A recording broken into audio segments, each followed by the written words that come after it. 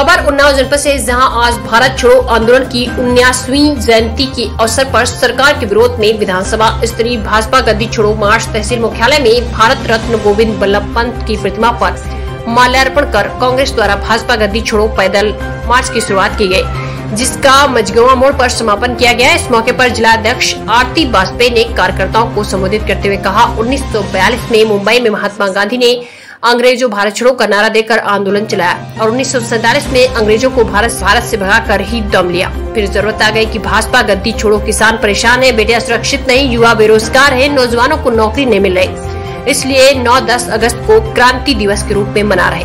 वही जिला कोषाध्यक्ष डॉक्टर सुरेश यादव ने कहा, भाजपा के शासनकाल में तानाशाही चल रही युवा बेरोजगार है और किसान बेहाल। इस मौके पर जिला सचिव सुभाष यादव पीसीसी सदस्य कृपाशंकर हिलौली ब्लॉक अध्यक्ष राकेश यादव पूर्वा ब्लॉक अध्यक्ष शिवशंकर लोधी असोहा ब्लॉक अध्यक्ष मुन्नी लाल रावत सोशल मीडिया प्रभारी पवन सिंह सक्रिय कार्यकर्ता अजय रावत के साथ भारी संख्या में कांग्रेसी कार्यकर्ता उपस्थित रहे।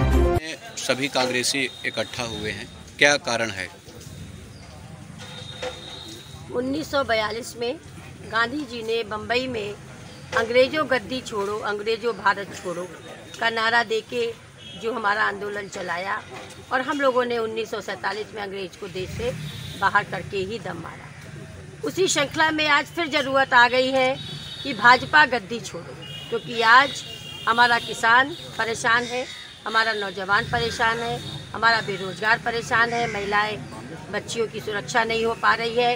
इसी मुहिम के अंतर्गत 9 और 10 अगस्त को हम लोगों ने अगस्त क्रांति दिवस के रूप में मना रहे हैं और हम लोग पदयात्रा कर रहे हैं कि भाजपा गद्दी छोड़ो अभियान लेके चल रहे हैं। आज आपकी पदयात्रा कहाँ से कहाँ तक होगी?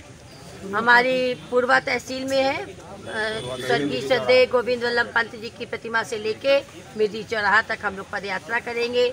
अपनी मांगे हम लोग कहेंगे और जनता को साथ लेके पदयात्रा मांगे क्या है आपकी?